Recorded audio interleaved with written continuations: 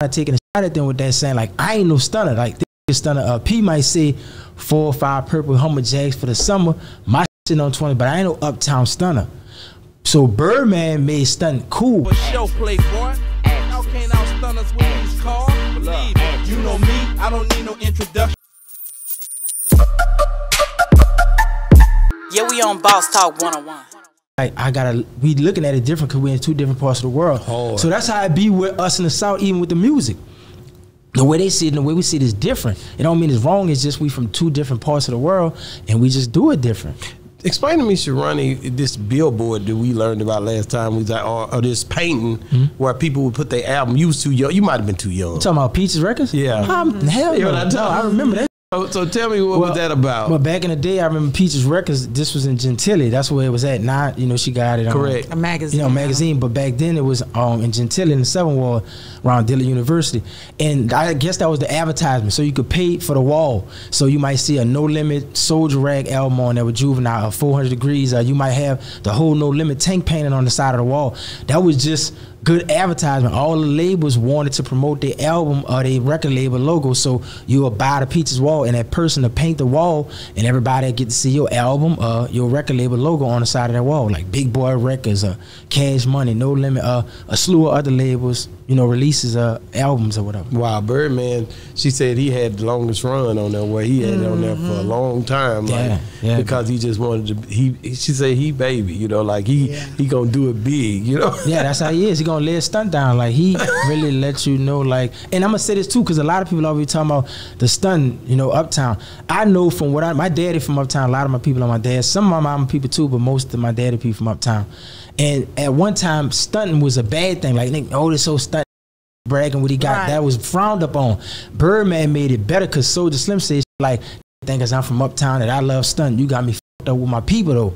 So Slim was kind of taking a shot at them with that saying like I ain't no stunner. Like this stunner. Uh, P might say four or five purple Hummer Jacks for the summer. My on twenty, but I ain't no uptown stunner.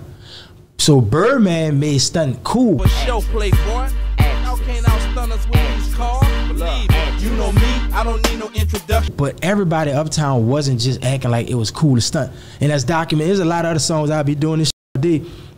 I'm not about to do that, but people from New Orleans know that that wasn't the thing. Birdman made that cool.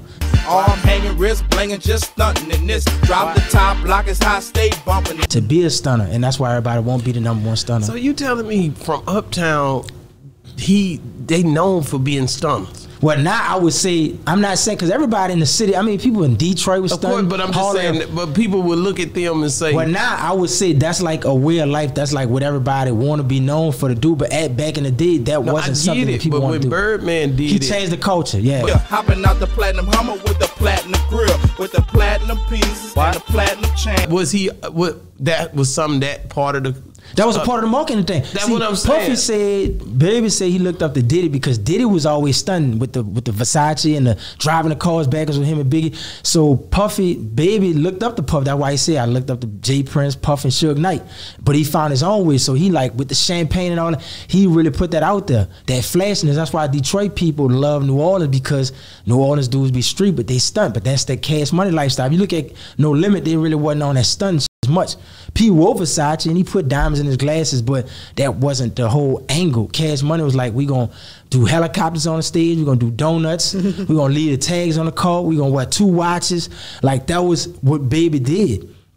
Nobody wasn't doing that shit like that. Like like Big Boy and it was going hard too, but that that wasn't their image. So when he took on that name Cash Money Records, he really embodied this stunning flashy shit. All that. And what's on your wrist. Yeah, you can have what the white ball. Don't worry about that. That's really how you do business. And that was just Baby whole personality, even to this day. You know who I be. It's all about the lifestyle and about the flash and the shine and all that. Chrome blade, candy paint, 300 mil, cash money, rich game. Man, so when you when you look at the uh, The diamonds in his mouth, my bad, diamonds you know? in his mouth, Yeah. all that that came with it, didn't he? Yeah, it took the big goals long out. buses and all that, man. Yeah, we on Boss Talk 101.